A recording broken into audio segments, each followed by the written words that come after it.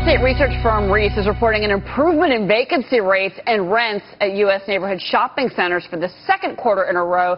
Jacob Frydman is the chairman and the CEO of United Realty Partners, and he, and he joins me now. So what you're seeing basically is that there is a bit of a build in commercial real estate, but what about the retail side of it at this point? Well, the retail side is an area that we're concerned about.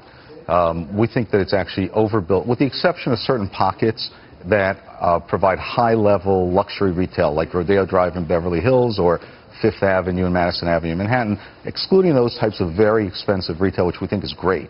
If you exclude those, we have way too much retail space in America on a per capita basis, as far as we're concerned.